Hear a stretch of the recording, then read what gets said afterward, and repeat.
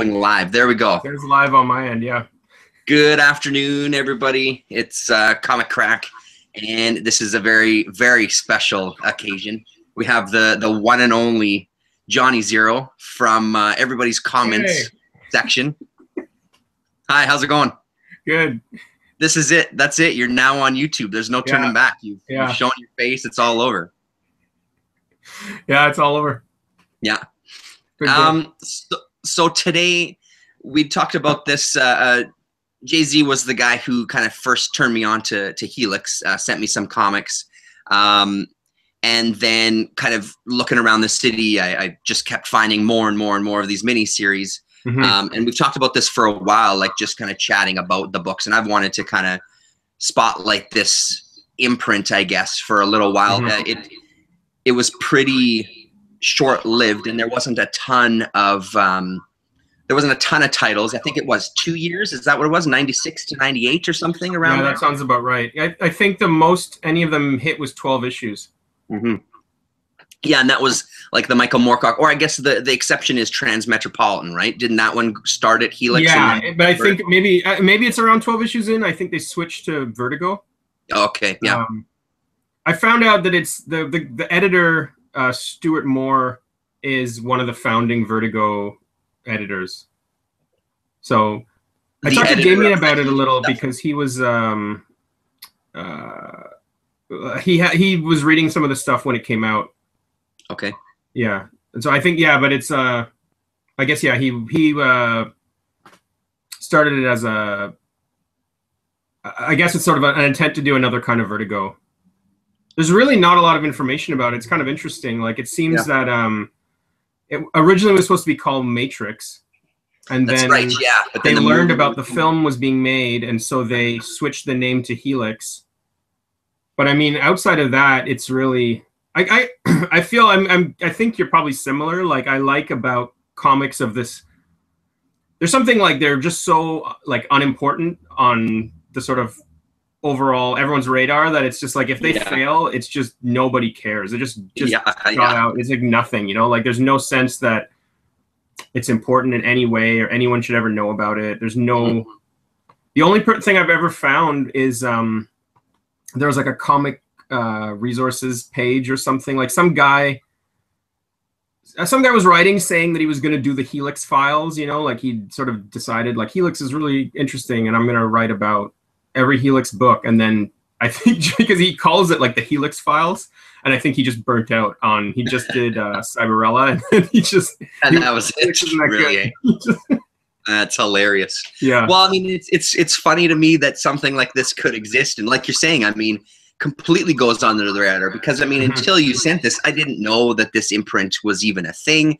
Um, I mean, I Mhm. guess not that I would because I think, as you had said too, around this time, I, I was not collecting comics. I wasn't reading Yeah, comics in, in Mhm. the mid to late '90s. I mean, I think actually most of the '90s, I was completely like nothing, not even like Peter Bagge stuff, or maybe some Peter Bagge stuff early '90s, but yeah, I mean, there was really nothing on my radar whatsoever. So, I mean, I would have completely missed that two year window that this existed. But I agree with you. Like, I love this kind of stuff for exactly the same reasons. It's just, hey, let's try something, let's do this. And it's completely under everybody's radar. And it lived and then it failed. Who really cares? It didn't really matter too much. But Yeah. then getting a chance to look back on it and especially finding all the stuff at once is really great to kind of get in this headset of maybe what they were trying to do when you can see all the work that they've done, right? So Yeah, and I mean it's I think it's really interesting um as science fiction stuff because like I feel like only now are we starting to see comics that are you know like science fiction novels have been for a while, you know, where they're really, you know, deeply kind of weird and Yeah. Like I think that Snowfall book is a bit like that and um what was the one? Ar- Arcadia, I think or okay, yeah, yeah, that was another. You know, like, but most of them are still kind of more like sort of sci-fi action movies. You know, like aliens Mhm. and they're fighting aliens or whatever. Like, they don't really get into this sort of the sort of strange ideas. I think that um, he, like Helix was trying to do. yeah, So from Well, that even- perspective, it's cool. for sure. And I mean, even with the ones that we're going to talk about, um, which we'll get into a bit later, but th- there's almost this feeling. Some of the sci-fi, the way that it works for me so well, is that it almost seems to be kind of this internal struggle, as opposed to like you're saying, like this huge battle against some alien force. Yeah. I mean, there's a couple of themes in these two that we're going to talk about that really stood out to me about like identity and, and even gender to some degree that Mhm. I find really a, a little more interesting because it's this almost uh, uh, I don't know maybe it's too much to say but it's almost this Jodorowsky type of approach to this internal struggles that are just manifesting themselves in these sci-fi kind of themes or whatever you know or in this sci-fi universe and stuff which I don't know I find kind of appealing. I mean I like the big blow up and alien killing type stuff too but this there's something a little more to it philosophically I guess. I don't Yeah, know. yeah. maybe I'm overthinking it a little but. Yeah, they're yeah, they're interesting. They're like, you know, it's sort of that perfect combination of being like I don't like I don't know that they really exactly work, but they're really Yeah. exciting because you you know, you're sort of like, "Oh, there's this thing and it's got all, you know, like all they're trying to do all these crazy things. It's really interesting and you know, they're just totally forgotten and in dollar bins, you know? so it's yeah like totally yeah you can get really like kind of i mean it's the only thing really that i can think of that i've asked you know if i'll go to like conventions and stuff and be like you know oh do you have any Vermillion issues and they're just like what are you talking about you know and Yeah, they'll yeah. ask you know some old guy and he's just like no i've never heard of it i don't know what you're talking about and Mhm. i'm sure a lot of them they were for sale but probably stores dropped them after the first couple issues didn't sell or whatever and Yeah, they seem like one of those kind of things that there wasn't enough people asking about it. And, Mm-hmm. you know, yeah, they, they just wouldn't have carried. Uh, La Raza says hello. Hello, La Raza. You're, you're here. Hi. Um, uh, so I guess briefly, the ones we were going to talk about today were. And I think I have sitting here um, one that was a really surprise to me how much I enjoyed it Starcross, yeah um, which is just a three issue one. And then I think independently, um, I was going to talk about Black Lamb because I know you Oh, haven't okay. read that one. And then you were going to talk about which one? I can't remember. oh yeah i was gonna talk about time breakers but i forgot to Yeah. actually bring it Oh, that's that's fine. I mean, I you know, we sure if can, we'd have enough time to do all of them, but yeah. Yeah, I think we'll start with the kind of the ones that we've read together first, and then you know we can kind of branch off there depending on the time, kind of thing. Sure. Um, so, do you want to talk a little bit about like how you?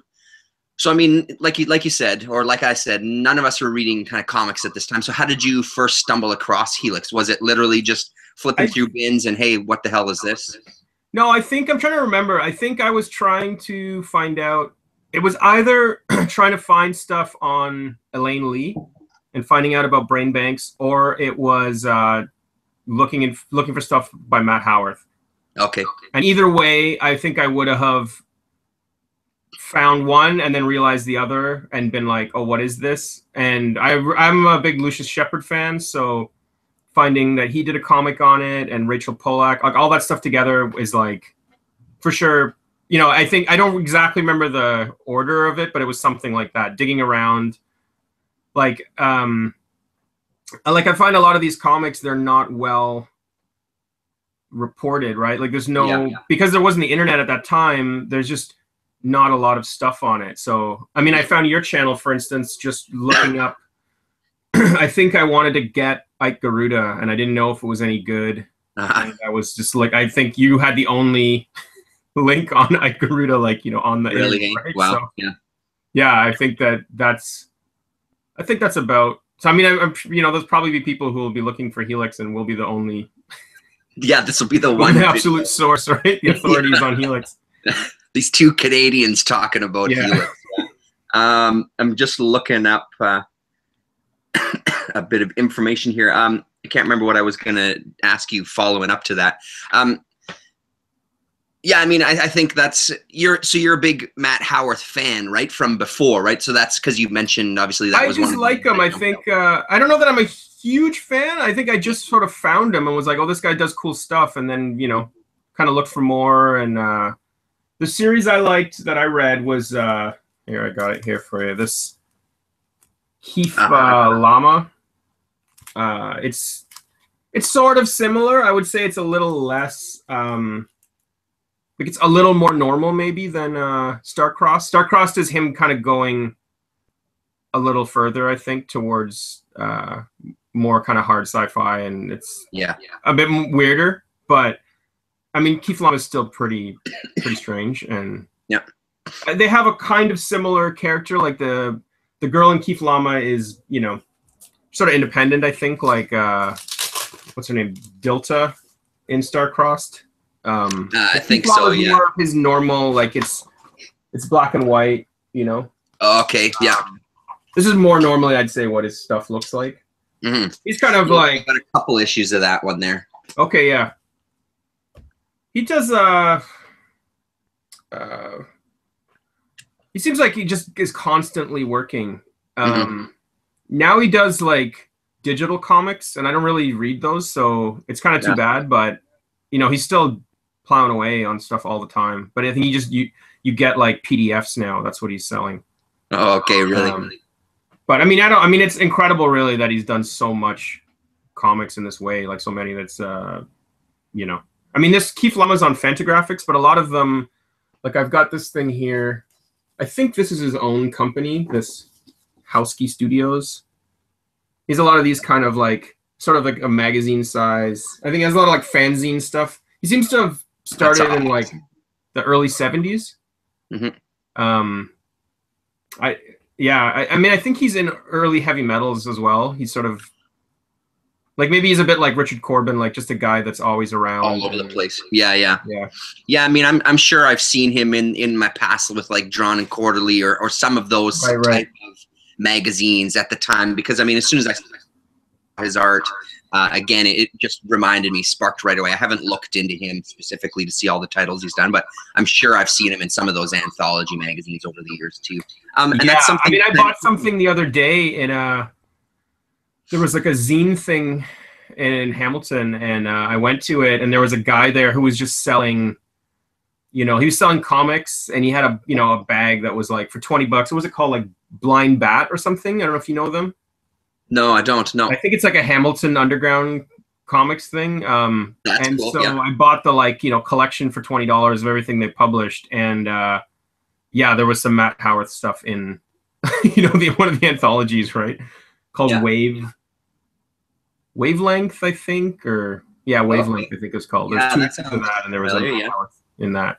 I think Yeah. yeah, that's my impression of him that he's just kind of always, you know, doing stuff and somehow found a way to always get, you know, Get his stuff out there, no matter with the format. Yeah.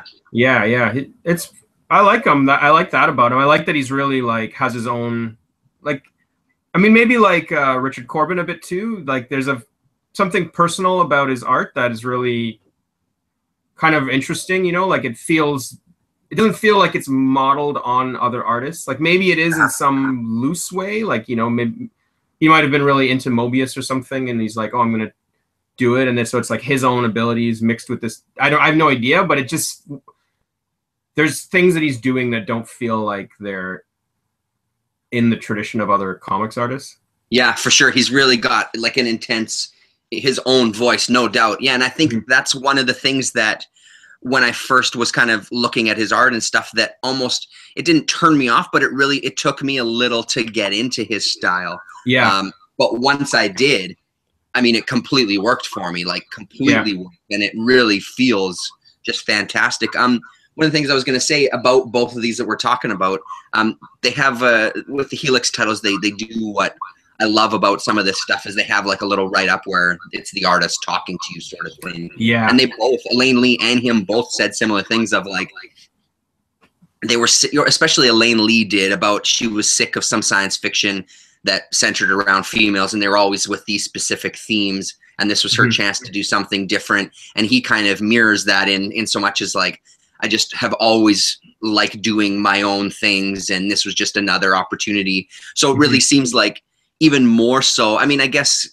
super similar with Vertigo, like we were saying, that it's it's about the independent creators and it's characters that you own, possibly. I Um, wondered that if they had a creator own deal. Yeah, it seems like they it seems like they might have, and then just kind of instead of having it whatever, it was just kind of more specific to sci-fi. But I'm assuming that it did actually, and that's a good point because I, I mean I didn't read that anywhere. I'm just guessing that that's what it was. You know. There doesn't seem to be any like sense that they're part of the DC universe in any way, or that Yeah. you know, like they've never dragged any of these. Not that they're you know, but I mean, you'd think that somebody would be like, oh, you know what, we want to stick like you know, we want to stick Delta into like some some new book. Yeah, yeah, yeah, yeah. That would be just the strange. fight like uh, yeah, Green Lantern or something. Yeah, battling alongside Watchmen or whatever they're doing now these days. Um, Yeah. So, I mean, was so this is something that you read early on. So, what were your? I guess we'll just jump right into this. What are your thoughts about uh, uh, Starcrossed overall? Uh, I really, I think it's really cool. I like that. Um, well, one thing I was going to say about his art, I remember reading uh, an interview with Grant Morrison once talking about Cameron Stewart, Uh-huh. where he said he thought like Cameron Stewart was the perfect, you know, comic book artist because he's uh, his when you read his books, you don't know where they might go. Like they could, they can be really serious. They could be like, you know, really funny you know, like when you read Seaguy with that with him, you don't under you have no real way of knowing if like you know, is this going to get really dark? Is this just a joke? Like how? And that he said he was the kind of the perfect comic book artist that way, and I feel like Matt Howarth is kind of like that. Um, Yeah. So reading this, you're kind of to me that seems to be two things at once. One is a sort of like, uh, you know, a kind of '90s romance story, you know, about like a you know an independent woman, and then the other side of it is this really kind of you know deep space science fiction where it gets really abstract and Yeah. he sort of connects the two i think by i mean you know what i get from it is it's sort of like she's so independent that she doesn't she doesn't even want to be part of the human race so she will embrace the void of space rather than you know the sort of awfulness of like human uh Anything Contact. to do with humans whatsoever? Yeah, exactly. Yeah, yeah. yeah. and that's the sort of bridge between these two yeah these two worlds or whatever um Uh-huh. but yeah i really liked it i mean i think that um to me it would be i would say it's either star-crossed or um time breakers that i think is the for me at least of what i've read so far the most successful of the helix books um Yeah.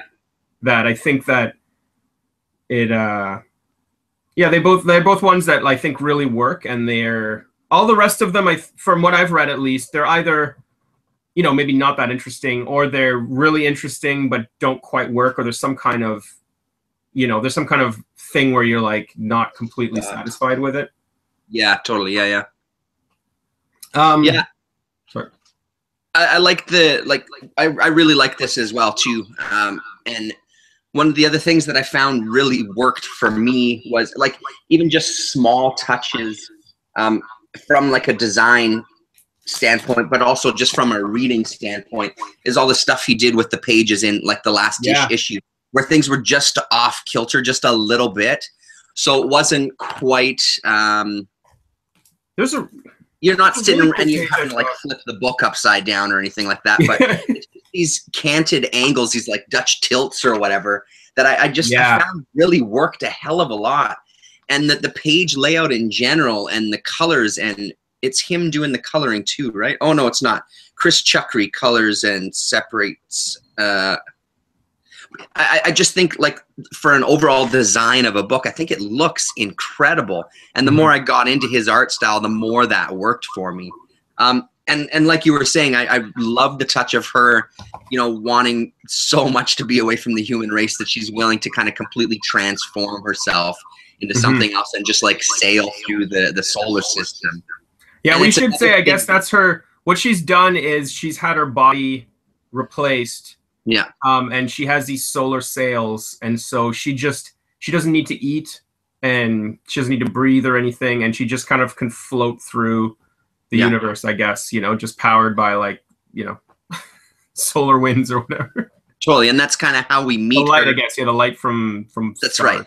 Yeah, and that's kind of how we meet her, and then throughout the course of it, I mean, you know, again, Yeah, I love to that first- away, but I What's love that, this first part, right, where she's just just has that Hawkwind thing. You know, space is the place. yeah, yeah, and she's just smiling and it's just Yeah. her you know all this stuff is just about how she's so glad that you know there's nobody around she doesn't have to deal with these awful people anymore she's a mm-hmm. you know there's some talk about how there's Jovians. I guess there's like people living on Jupiter, and so she's kind of, you know, she's glad that she hasn't had to actually deal with them yet. That she, you know, she's sort of like forced to, into this situation. Yeah, yeah, yeah. And yeah, so yeah, this is about becomes confronted with her past, like her her previous life, and just kind of yeah. has to deal with these things and you get even more of that separation another thing that i found came up in both of these books was this it was almost like it, this one maybe not necessarily to the same degree but there was this almost like there was a transformative quality or, or like a, a change of identity with both of the books i mean in in BrainBanx it's it's kind of a man and woman combined into one body which right. i don't know i guess depending on what area you're reading it could be all sorts of different contextualizations for that but this even the same thing like just this transformation of herself physically to kind of mm-hmm. distinguish herself from the rest of people you know it's it's uh, like you were touching on some of the 90s kind of vertigo type of feel that to me also feels very similar to a lot of 90s stuff you know this kind of alternative and and maybe I'm not describing it proper, but I mean just this idea of transforming your body and separating yourself and a little bit of right. not quite teen angsty, but like a, a fiercely independent. You know what I mean? So yeah, I really liked how um, you know it starts where you really you know you like her. I mean, you, I mean, I guess you always sort of like characters in comics. You relate to the protagonist, unless you know it's an awful comic or something. But yeah, yeah, yeah. You start off being like, oh yeah, this is really cool. I can see why you know she's got it all figured out, and then you know, you feel like, you know, she's trapped. It's this horrible thing. She's sort of pulled in towards humans. And then you meet uh, Reet, I think is his name, her like ex-husband. And he, you know, he loves her. And you feel like, at first you don't like him, I think. That's at least how I felt. You feel like he's just another yeah. person who's trying to like drag her down and like, you know, mm-hmm. take her where she doesn't want to go. But then you meet her son, um, Nile, I think maybe, and yeah, uh.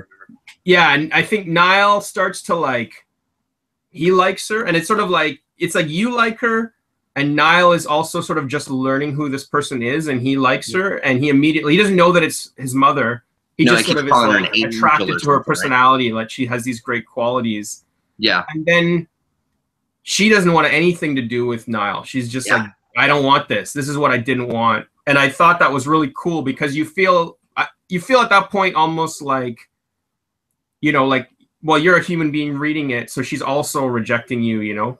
It's like you're, totally, you're part absolutely. of the problem. So absolutely. like, well at that point it's kind of like you hate her right? It's like oh my god yeah it's really weird. Where's your motherly instincts? They're all gone you know what i mean? Yeah it's it's uh it's a really good twist for that though. Yeah but then feel like by the end you're still with her again. You know what I mean? Because I found yeah. the exact same thing that I had those moments like, oh my god, you're horrible, and I liked you at the beginning, and then by the end I kind of liked her again, even though like there was these horrible things that happened in the meantime, and yeah, she's yeah. trying to find love with this asteroid, and you know, like it's just it's bizarre, but I I thought it worked really well. Like I really enjoyed it. Yeah, it's very fun. I like that you you just don't know quite where to take it. You know, you're just yeah. along for the ride, and it's really, uh, yeah, I thought it really worked, and you really feel a lot of the same stuff that the characters are feeling. You feel pulled around, and and I think that's a really good point too. Like you're along for the ride. There's there's so many there's so many things that I read that end up and I like them for it. Like I like that things work within a genre, and I can kind of get a sense of where things are going. Um, I enjoyed that about this. That I really didn't have a sense of where it was going to go. Mm-hmm. Um, there wasn't any like, okay, so this is the part, this is going to happen. Da, da, da. I mean, yeah. there was there was a few very broad strokes, but I mean, for the most part, I, I, felt like I was just along for the ride with this story. And I mean, as I've said before in some videos, like there's something. I don't know why everything has to be long, epic, year long stories these days. I don't know mm-hmm. why we can't have more kind of mini series and more short runs and stuff. Not that it doesn't exist, but mm-hmm. this is the perfect example. Like to me, this is a really tight three issue story. It doesn't yeah. need to be even four issues. It doesn't need to be five. It's three is perfect. And I think it just really works well with those kind of uh, limitations on it, you know, and I'm, I'm assuming that was him completely. I mean, I'm assuming that he had control over how long it was going to be and how much he was going to commit to. Yeah, I mean, it says on it like it's they're numbered like you know one of three. Yeah, um, I mean, I mean more like going into them and proposing the idea. Oh right. Just, yeah, it seems like they they weren't like there was no kind of limitations because I mean, there's some that are six part issues, there's some that are like 12s and that sort of thing, and it Yeah. just seems like he him because three to me is it's usually four issue miniseries. Three is kind of odd, I guess. Um, but I, it just is so tightly done that I, I think it works really well. There's a Yeah, really good like- you know, and it- it, even sure. the name is sort of like that, right? Like it's a bit kind of um you know, it's kind of a cool pun on that, you know, star-crossed lovers or whatever. yeah, yeah, But you feel like there's a sort of poetic aspect to it that, you know, things just sort of work. Um it doesn't feel forced what he's trying to do. yeah, not at all. Yeah, Yeah, I really liked it. Um, I was gonna say when you're talking about the layouts, I quite like this one. Um, I don't know if you remember it. It's like you read it backwards, uh huh. which is always a bit hard, you know. When you know, like people try and do these weird layouts, I feel like it's really interesting when they work just really easily. You know, you you're like you don't like BrainBanx has a lot of stuff that I think doesn't work where they're just pushing it so far. Um, it, I mean, it almost to me is like they want to break comics. You know, like they're just Yeah, kind of yeah. like let's just you know jam it in until you just sort of like can't handle it anymore, and your yeah, yeah, your your, bra- your brain is just as screwed up as everybody's in the story. yeah. That's right. Yeah, yeah. But yeah, I thought his own has a lot of these, you know, kind of weird things, but they're done in a very kind of subtle way. And yeah, a lot of um, natural way too. Yeah. yeah, like I it reminded me of um did you ever read that Schismatrix book by uh No. Bruce Sterling?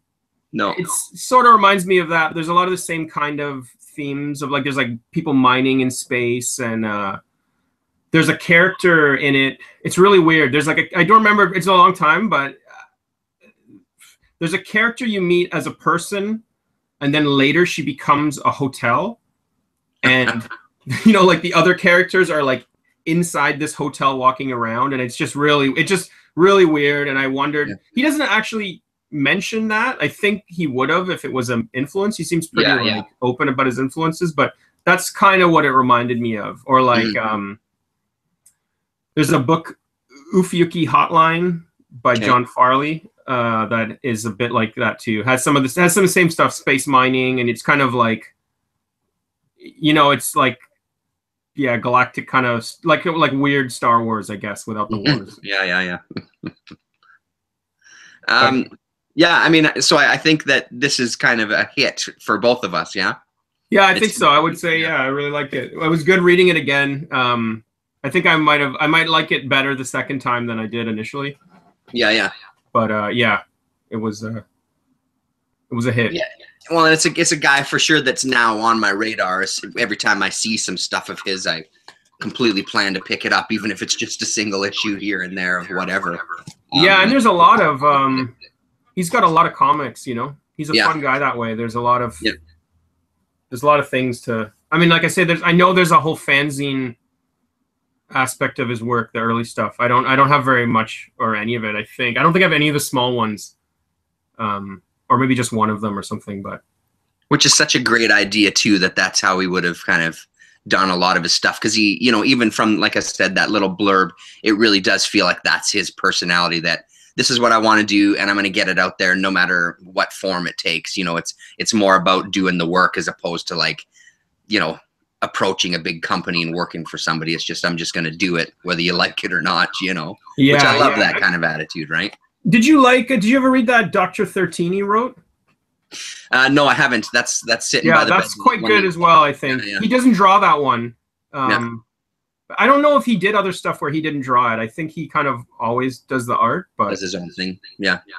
Yeah that, I, I mean uh, yeah I, think that one's really good too um but it doesn't seem like it really went on to him doing a lot more. I, maybe he doesn't like just writing without doing the art. Uh-huh. I I get that. Like he kind of reminds me a little bit of um, like Philip K. Dick or something, where you feel like he's just kind of there's like a kind of feverish sort of intensity to it. Like he's just sort of like I'm in writing mode and I'm just gonna like, you know, just blast at it for until I you don't want to do this anymore. yeah yeah yeah But I mean, I guess that must be somewhat. Um, there's also kind of a quality of like to his drawing, you know, like like almost like doodles. Like there's something, you know, like doodles isn't quite the right word. Um, like how you know like if you look at these there's this this sort of like say the detail in the stars or like in her wings like there's something that looks like he's just spending like an incredibly long amount of time on these sort of like repetitive shapes and Yeah, yeah. details that yeah there must be some kind of some balance between you know his imagination going crazy and just a sort of relatively slow drawing process process. Yeah, yeah, where he really just gets into it. Yeah. yeah Yeah, and I mean it's it's a rare it's a rare thing for me that that happens where it's like this art that doesn't really appeal to me on first glance that just grows on me, you know. Um, Yeah. It just it doesn't it doesn't normally happen. It's it's usually if I don't like it, I don't like it, or if I like it, I like it. You know, it's Yeah, I feel it's kind of like things. Yeah, it's just like that's the package it comes in. So Mhm. you learn to love it, and then you just love it. You're just like Yeah. you know, you I see it. I'm like yeah, it's I'm hundred percent on board. Yeah, yeah. It's a really strange thing. It's it, the last thing I expected. Uh, yeah. So um, should we move on to uh, the BrainBanx one? You brought Sure. it up a little bit about um, just trying to break comics and break a reader. I think the first thing I'll say is I didn't finish the six issues like we talked about before we went Right. on. there.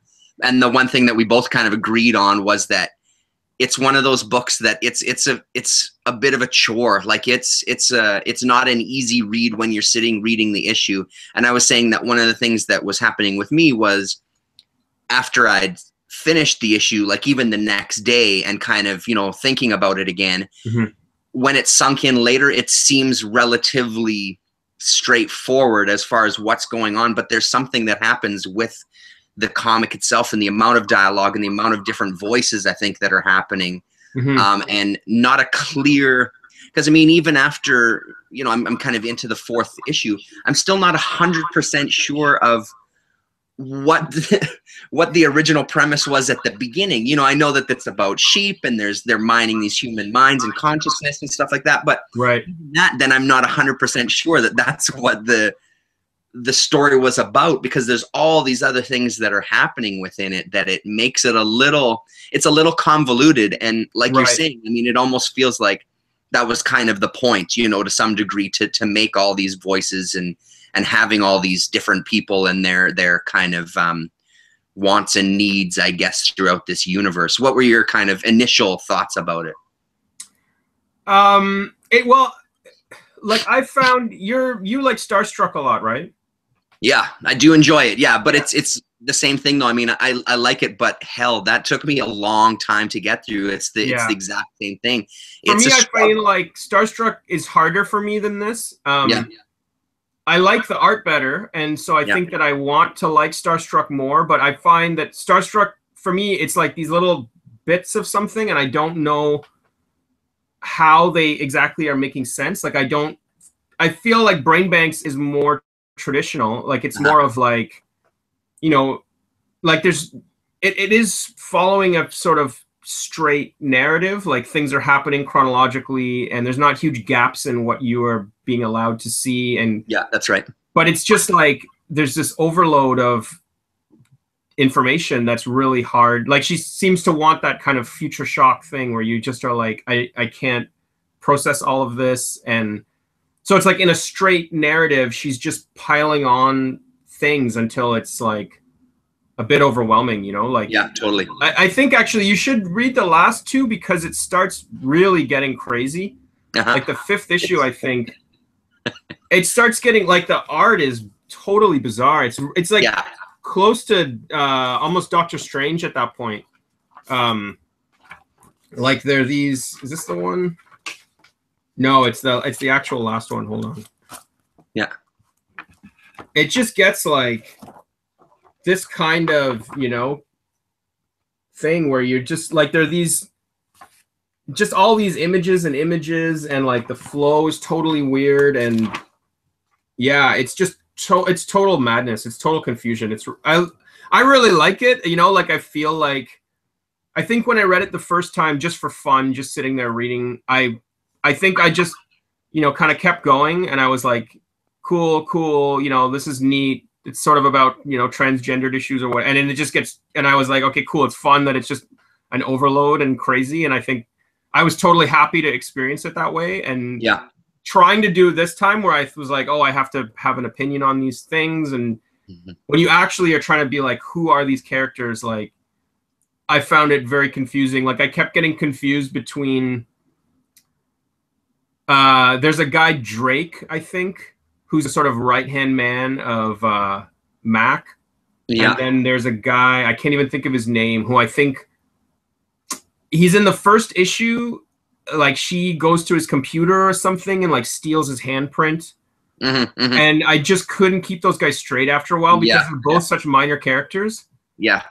that I was like, I don't remember which one of these it is. And, you know, I Yeah. feel like it might, you know, I might need to read it again with like, I now kind of have them straight, I think, in my head, and I might have to go back and be like, well, who's the guy who's leaving this scene? Or, and there's also things I think she's doing that are just insane, you know, like there's the, there's this, the elders, all those women that are kind of like the sort of, they're all look exactly the same.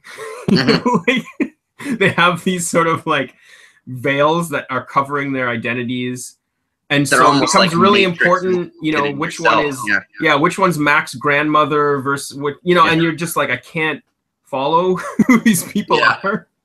I think Well, and I think, and oh, some of that stuff, it feels like that's more to the point, right? Like, because whenever I'm met with stuff like that, where it's so confusing to keep track of, I start getting in the mindset that maybe that's what the writer is setting out for. that I've just got to Yeah, just maybe. let it go and, and not worry about, because in the end, it's just like these are the men, these are the women, these are our most important characters, the ones who are, you know, like the the son who was in that kind of tube, that artist son and stuff, and then her.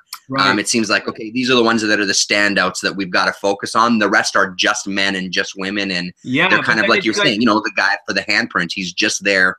He's kind of a link to the past, but it's Yeah. somebody that she's going to use to get something to further her goals, right? So Mhm.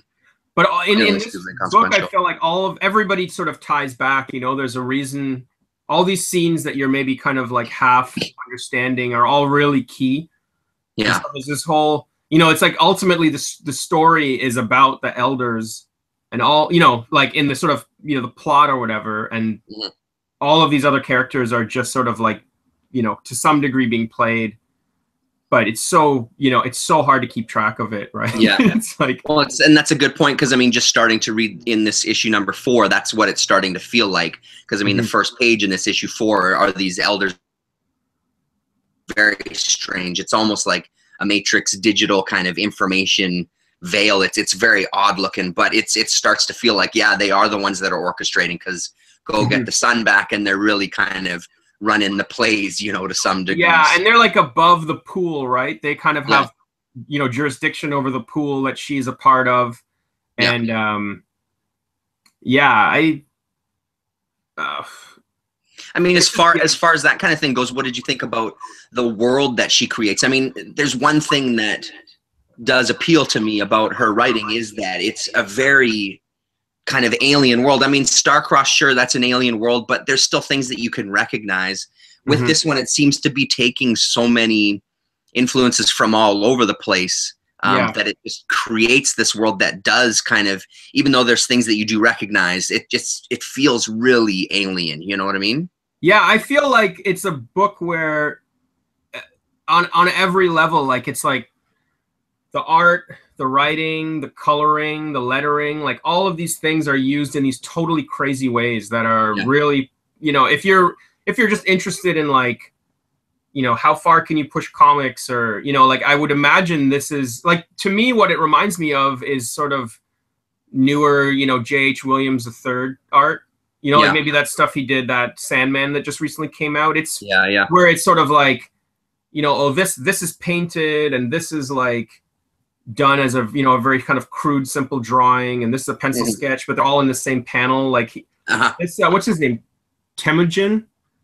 He's doing that stuff, you know, in like '97 or something. you Yeah, know, and yeah. really kind of, it's just really strange. It's really pushing. Totally. Trying Well, to even just for just you know. for a sample of, of something like so here's kind of the main art and Right. then as it kind of transitions um, we get a transition to you know uh, let me see the camera there uh, what you see on this page which is yeah, just kind of even more distorted in things which is is kind of cool Um, That's and then like in Logan's head, right? yeah, that's right. Yeah, Yeah. Yeah, Um, there's that whole thing of like like, I thought like, that was really cool about this, like kind of perspective, you know, like about how everybody has their own kind of mind, their own way of understanding the world. And like Yeah. sometimes, you know, like there's a, I think it might be in the fifth issue, like uh, Ellis enters like a sheep's brain, Oh yeah, really. you know, so you're in this sheep and the sheep is just kind of like going on about bliss, bliss, bliss. And it's just totally weird, right? Like it's, Ah. Interesting. yeah, I, li- I like that. I never the th- the thing I think I struggled most with. I don't know if you were like this. I really didn't like the red coiling text. Uh huh. I don't know. Yeah, no, I don't I- really. Re- I don't really know what it is. I don't know if it's like her. You know what? You know what it is. It's psychically attacking the other irritating, person. is what it is. It's what? it's just irritating, is what it is. Like again, it's one of those things where, what do you mean? I got to turn the page and I got to Yeah, you just endlessly you know, like- turning it around, and it's hard Yeah. to see. And Yeah. Well, and then I kind of read a couple of them. I'm like, well, I don't even understand what that means. I don't Yeah. understand the context. So it's almost Like- ah, fuck it. I'm not even going to read the next one, you know? yeah, yeah. I think I feel I a little bit like that with um. I read Stray Bullets. Yeah. and there's all these Amy Racecar. it- you know, every you know story will have one Amy Racecar bit, which is sort of like a fantasy world. And I just, Okay. I think I just can't do them. I just uh, every, and I know it's a part of it. Like everybody says, like, oh, you have to read Amy Racecar because it, you know, there's a kind of like way that it mirrors the world and like come.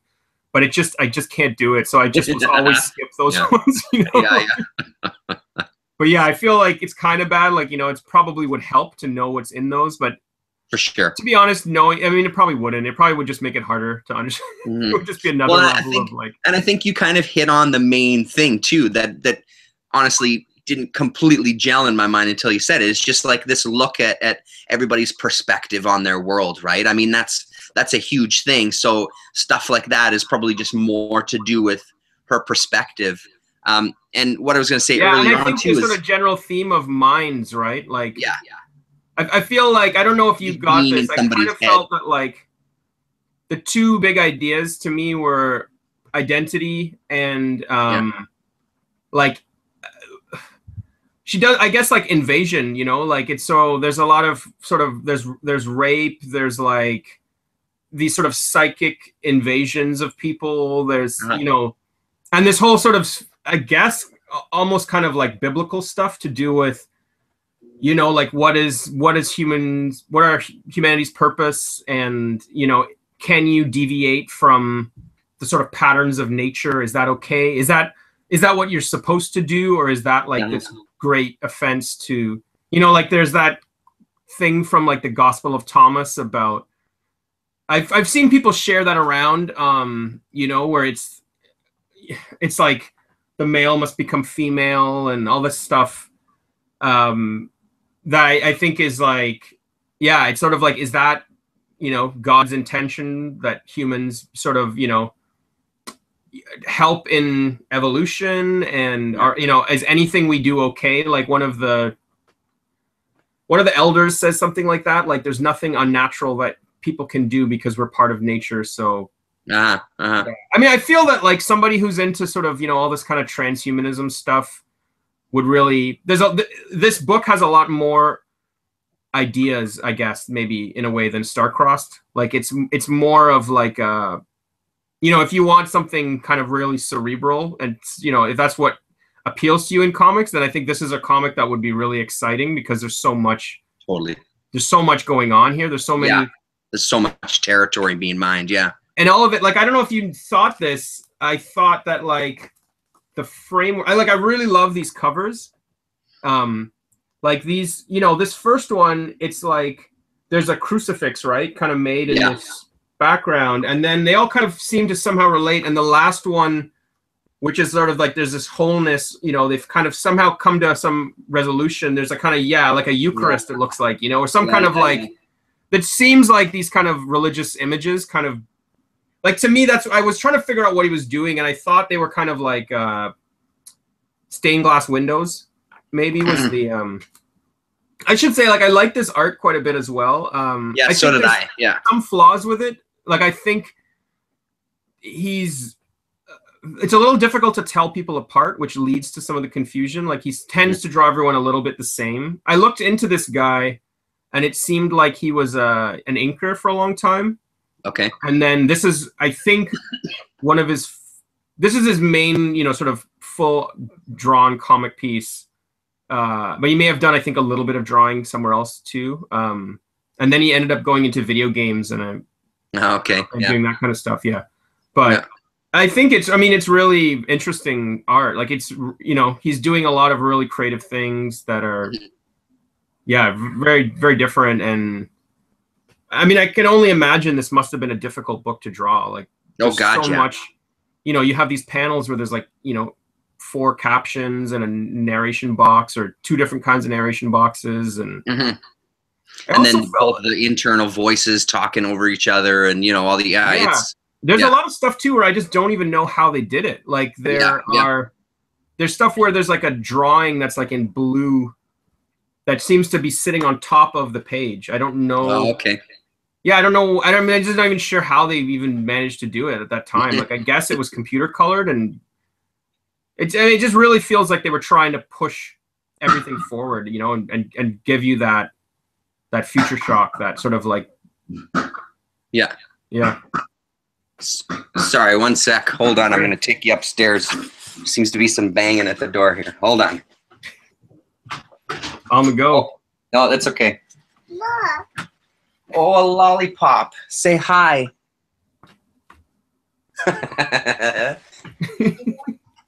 Sorry about that. The door there. Sure. Yeah. Um, uh, I can't remember what I was gonna say. Um, yeah, I mean, I, I completely intend to finish it. There's no doubt about it. But it just, it, like we said already, it's one of those that it was just a bit of a, a bit of a slog going through the individual issues. Right. And Yeah, I wonder, I wonder how bit. much input she has on like the visual style of the world. I'm assuming that she has some more than other, or maybe the same as other writers. I don't know what the kind of relationship or the ratio is with comics artists and writers. Period. Um, if a lot of the writers do have a lot of say in how the world is portrayed, or if it's just like here's here's the text, here's a couple of notes, and that's it. Go wild. She My seems like guess she's is probably she just would little have a description. She, Uh-huh. she would just probably write out a description of what it looked like, and then Mhm. it would be up to the artist to try to. I, mean, I think some art, some writers, I think, will really say, you know, how many panels this should be, or, you know, really like lay it all out, like where everybody is and that. Yeah. But I, yeah, I, I would, I, I don't know, maybe I'm wrong. I would imagine that it's probably she just wrote out, you know, these are the captions and like Yeah. kind of what should be going on generally. And yeah, I don't know. I suspect there's a lot of probably a lot of work for the artist on this one. Uh-huh. That's I don't know, but Yeah, and I think like you touched on already, it's it's perfect for if you want something that's more cerebral, and it just feels like one of those books that there's so much going on that you can read into it again. I mean, maybe this kind of goes with the theme of like the individual's mind and perception and stuff. Whoever's reading it is going to get something completely different out of it because there's so much going on and Mm-hmm. and and there's so many things that you can read into it. I mean, I never even thought about the religious stained glass aspect of the covers, for Mm. example. That never Yeah. even crossed my mind. You I know, mean, I so mean, it's it may like, not have crossed their minds either. Right? Yeah, yeah, yeah. Just well, it, but I'm it seems seeing, like it's one of those books that it, it very well might have. You know what I mean? Like it seems Mhm. like one of these kind of very precise, like as kind of chaotic and as dense as it is.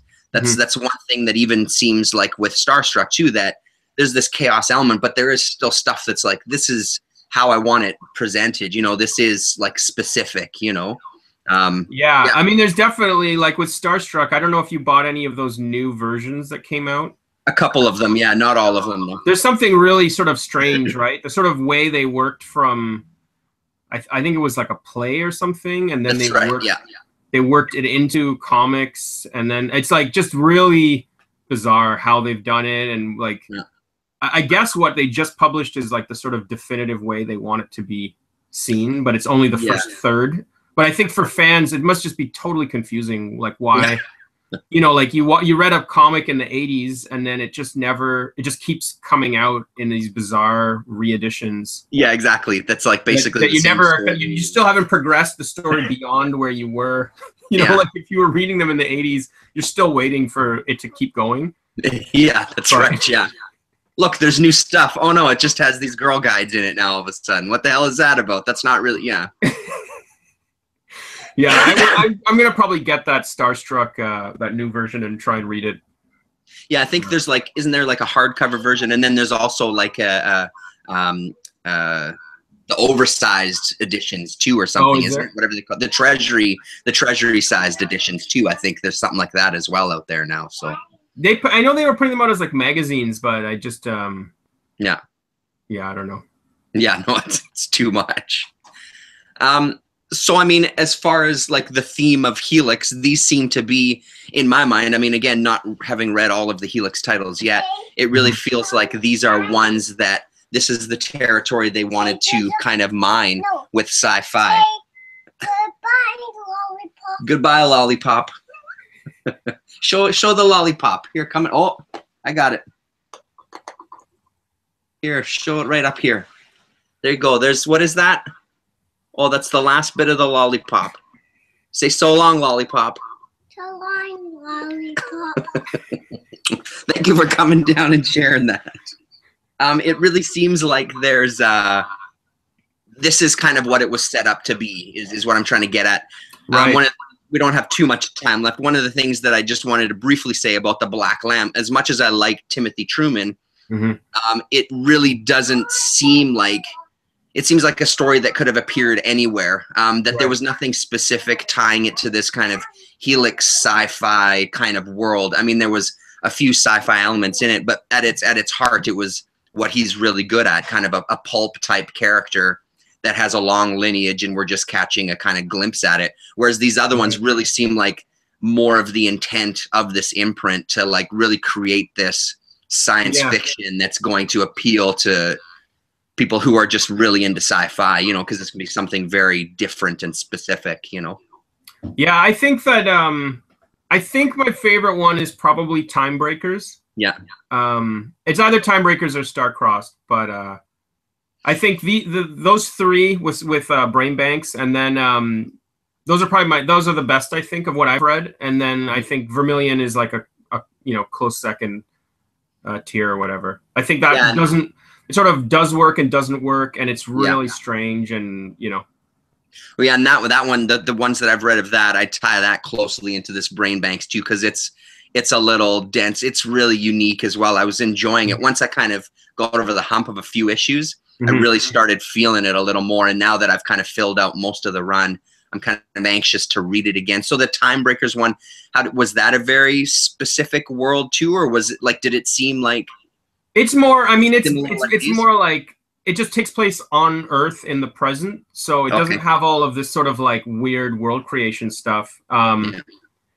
It sort of feels a bit like maybe Doctor Who or something like that. Like it's yeah, it's basically like this. What what I think is really great about it, it has this amazing kind of you know sort of central concept, which is that she sort of flipped the you know the sort of rules of time travel forever have been you the problem is you know you go back in time and you meet your dad and then your dad doesn't meet your mom and blah blah, blah. and so this, you can't have these time paradoxes. But she says that actually the universe thrives on time paradoxes. So that's what that's actually what it's built on. and so these guys are like this team uh, that are collected from different individuals across you know the, years and they're just going out to try to create time paradoxes really interesting. they're, Yeah, yeah, they're literally just trying to break time that's their yeah, whole uh, yeah.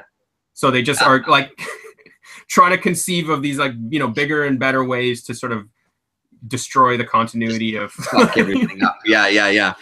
yeah I, I really liked it i think it's really fun um really a really good comic worth uh worth collecting Yeah, for sure. Well, and, and as I think like all of these are, you know, I mean, if anybody understands the 50 cent bins, it's you, you know what I mean? Like it's all this stuff that's, it's so much fun to kind of be able to rediscover this stuff. And especially when you're dealing with a smaller imprint where it really is. It's it's been relatively easy to find every single title.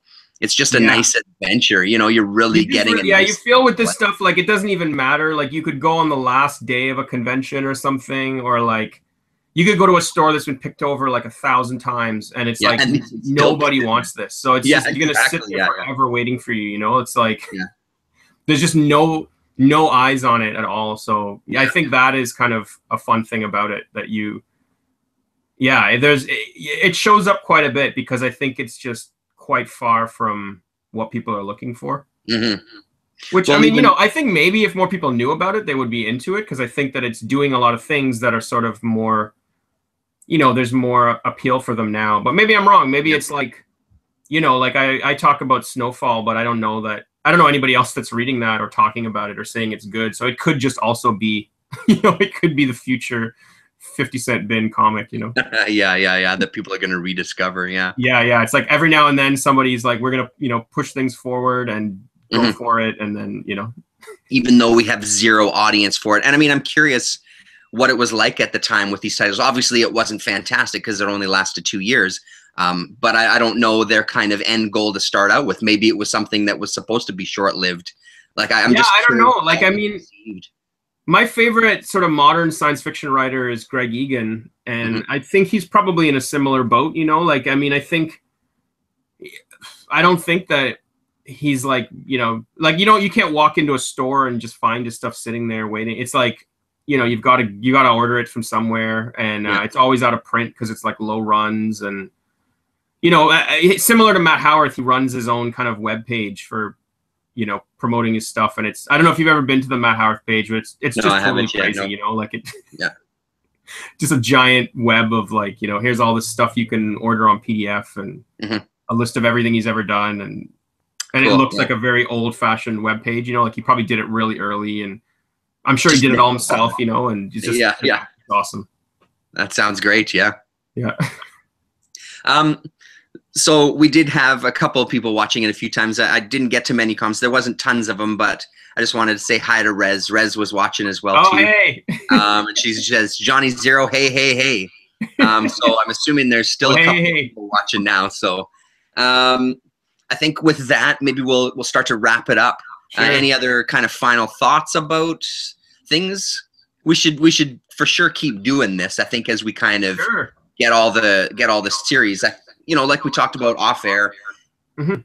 There's Yeah, just not totally anybody Yeah, talking yeah. about this stuff. You know, i I, know think that that- uh sleepy reader said he read um time breakers and really loved it so i think Yeah, yeah. And I've seen in a couple of his haul videos, he's finding the odd issue here and there. I think recently he found some brain bank stuff. He said, so. Yeah, he said he completed a BrainBanx run. So I there would be go. curious. He would. I, I suspect he would dislike BrainBanx. Uh-huh. But he might. He might Yeah. like. I think. I feel like where I have a lot of enthusiasm for the fact that it's just smashing you until your mind breaks. I feel like he would not like that That's possible. and see that But as I a mean- very bad quality in a comic. Yeah, but yeah. But I don't know. his, I'm. I'm. You know. I'm always with his interested in heavy what. sci-fi background, he might get something different out Yeah, of it. you never know. especially He's- like me, you know. I feel yeah. like he's a more um I don't know. He's probably like a smarter reader than me, so he gets he can and he grasps things on like a better uh I don't know what. yeah, yeah, on a different Some higher level. Yeah, that's right. Yeah. So I, I would definitely love to have him be part of it. I feel like he might Yeah, just be sure. like you know, Helix sucks. well, hey, he's reading Rebirth stuff, so he can't he can't Right, possibly right. that this sucks. yeah, he's good. I'm glad. I'm glad someone's reading it. He can tell me. Yeah, exactly. Yeah. Um, so don't go away yet. I'll, I'll just kind of stop the broadcast and just say that um, thanks very much, everybody, for watching. Um, stick around. Oh, Don Fletcher is here. Thanks for the art talk. Thanks for watching, Don. Always a pleasure. Um, yeah, we'll be back at some point. And uh, Johnny Zero, holy crap. Like I said, he's broken his cherry. That's it. It's all Yeah, over now. go. Just People see his random guy. face. It's done. Hunt him down. You know where he lives. All right, I'm going to push the big red button. Thanks a lot for All right, watching, cool. everybody. We'll talk Yeah, to you. see you, man. Bye. Thanks for having me.